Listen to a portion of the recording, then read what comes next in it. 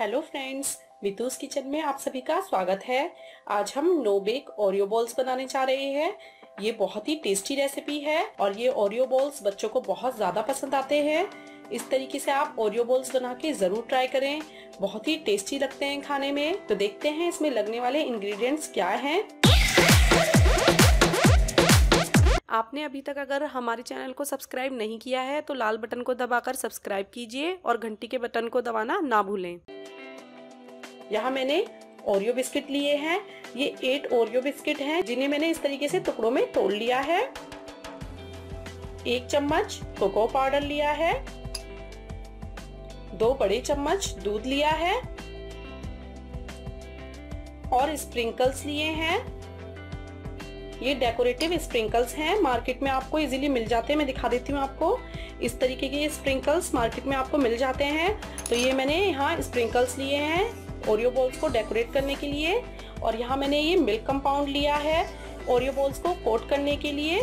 तो आइए no bake Oreo balls बनाना शुरू करते हैं।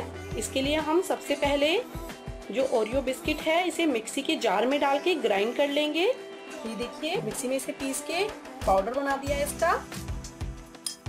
अब हम इसका पेस्ट बना के तैयार करेंगे। इसमें मैं ये कोको पाउडर डाल दूँगी। अगर आपके पास कोको पाउडर नहीं है तो आप कोई भी चॉकलेट सिरप का यूज़ कर सकते हैं इसमें। और इन दोनों को अच्छे से मिक्स करेंगे। हमने इसे थोड़ा ज़्यादा चॉकलेटी फ्लेवर देने के लिए इसमें कोको पाउडर मिलाया है।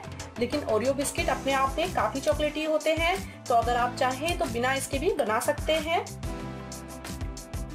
अब हम इसमें दूध ऐड करेंगे। थोड़ा थोड़ा दूध डालेंगे और थोड़ा थोड़ा दूध डाल के एक डो बना के तैयार करेंगे और मिक्स करके हमें एक डो बनाना है। उस डो से हम ओरियो बॉल्स बना के तैयार करेंगे। ये देखिए, सभी चीज़ों को मैंने अच्छे से मिक्स कर लिया है और अब हम इससे बॉल्स बनाकर तैयार करेंगे। इस डो को बनाने में मैंने एक टेबल स्पून से भी कम दूध का यूज़ किया है। आप देख सकते हैं कितना अच्छा डो बना है। इस तरीके का आपको एक सॉफ्ट डो बनाना है। इसे एक बार हाथ से भी अच्छे से मिक्स कर लेंगे। तो हमारा डो रेडी है। अब हम इससे बॉल्स बना के तैयार करेंगे। आप जितने बड़े साइज़ की बॉल्स बनाना चाहते हैं, उतने बड़े साइज़ की बॉल्स इस तरीके से बना लें। थोड़ा सा पेस्ट लें हाथों पे और इस तरीके से इसे, इस तरीके से इसे रोल कर लें। देख सकते हैं कितना चिकना और बढ़िया पेस्ट बना है हमारा। इसमें हमें कुछ भी अलग से मिलाने की ज़रूरत नहीं है।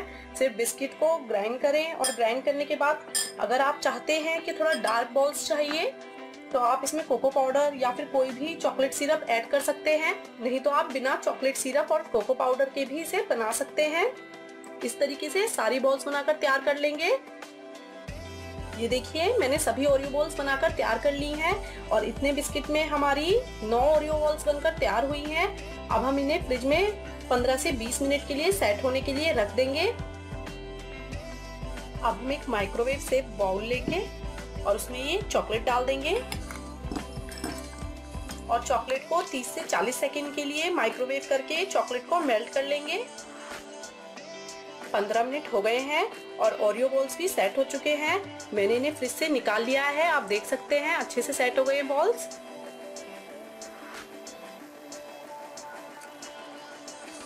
और यहाँ मैंने चॉकलेट को भी मेल्ट कर लिया है माइक्रोवेव में। 30 सेकेंड्स के लिए चॉकलेट को रखा माइक्रोवेव किया और चॉकलेट मेल्ट हो गई अच्छे से। एक बार इसे अच्छे से मिक्स कर लेंगे। यहाँ मैंने मिल्क कंपाउंड यूज़ किया है। अगर आप चाहें तो डार्क कंपाउंड भी यूज़ कर सकते हैं या व्हाइट कंपाउंड भी यूज़ कर सकते हैं, जो भी कंपाउंड आपके पास हो, आप उसे इसमें यूज़ कर सकते हैं। चॉकलेट को अच्छे से मिक्स कर लेंगे। इससे चॉकलेट बहुत ही शाइनी हो जाती है तो इस तरीके से इसे अच्छे से मिक्स कर लें। देखिए चॉकलेट अच्छे से मिक्स हो गई है। अब मैं इसमें एक एक ओरियो बॉल लूँगी और डिप करके रखूँगी। यहाँ मैंने ओरियो बॉल्स को रखने के लिए एक ट्रे पे एल्यूमिनियम फॉइल लगा लिया है। आप इसकी जगह बटर पेपर भी यूज़ कर सकते हैं, लेकिन मैंने यहाँ एल्यूमिनियम फॉइल का यूज़ किया है। तो अब हम इसे एक एक ओरियो बॉल्स लेंगे। ओरियो बॉल्स ले लिया मैंने। अब मैं इसे चॉकलेट में डिप करूँगी और इसे अच्छे से कोट कर दूँगी इससे।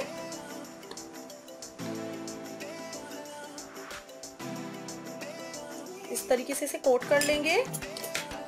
और एक फॉक की सहायता से इसे बॉडी, एक फॉक की सहायता से बहुत ही सावधानी से इसे उठाएँगे इस तरीके से। और इसे इस तरीके से हल्का सा टैप कर लेंगे ताकि जो एक्स्ट्रा चॉकलेट है वो बॉल में वापस गिर जाए। इसे इस तरीके से हल्का सा टैप कर लेंगे ताकि एक्स्ट्रा चॉकलेट बाउल में वापस गिर जाए।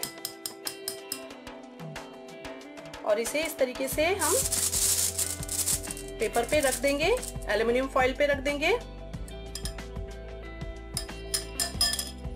इसी तरीके से दूसरा बॉल लेंगे, दूसरे बॉल को भी चॉकलेट में डिप करेंगे और इसे कोट कर देंगे चॉकलेट से। बहुत ही टेस्टी लगते हैं खाने में।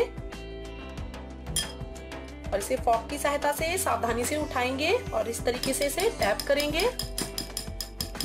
और इसे वापस ट्रे पे रख देंगे। सभी ओरियो बॉल्स को चॉकलेट में डिप करके ट्रे पे रखते जाएँगे।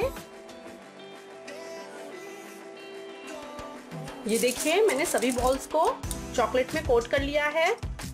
अब जो हमने कलरफुल स्प्रिंकल्स लिए थे, उससे इसे डेकोरेट कर देंगे बॉल्स को। थोड़ा थोड़ा इसके ऊपर इस तरीके से लगा देंगे।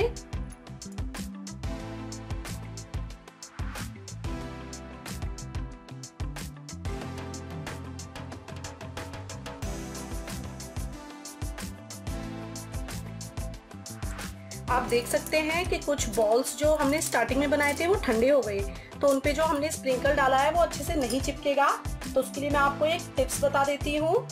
या तो आप जब एक एक कोट करें, उसी टाइम पे इसे डालते जाएँ। नहीं तो आप उसके लिए क्या कर सकते हैं थोड़ा सा चॉकलेट लें थोड़ी सी मेल्टेड चॉकलेट लें और सेंटर पे बस एक ड्रॉप डालें। हल्की सी एक ड्रॉप इस पे इस तरीके से आप लगा सकते हैं। और उसके बाद जो स्प्रिंकल्स हैं, उन्हें इस पे डाल दीजिए।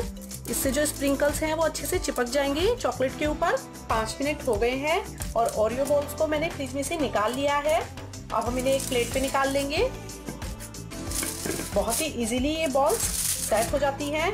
ये देख सकते हैं आप कितनी अच्छी बॉल बनकर रेडी हुई है। इस तरीके से सारी ओरियो बॉल्स को हम प्लेट पे से निकाल लेंगे। और जो बॉल्स में ये एक्स्ट्रा चॉकलेट होती है, इसे आप किसी भी नाइफ से या फिर हाथ से इसे हटा सकते हैं इस तरीके से। ये देखिए, कितनी अच्छी चॉकलेट बनी है। वो भी कितनी आसानी से ये चॉकलेट बनकर तैयार हो गई है। सभी ओरियो बॉल्स को प्लेट पे निकाल लेंगे। ये देखिए, कितनी बढ़िया ओरियो बॉल्स बनकर रेडी हुई हैं।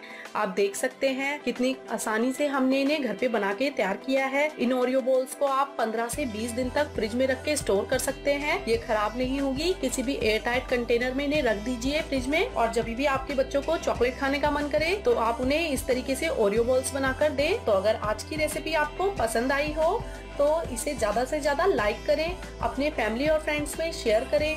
और मुझे कमेंट करके बताएँ कि आज की रेसिपी आपको कैसी लगी।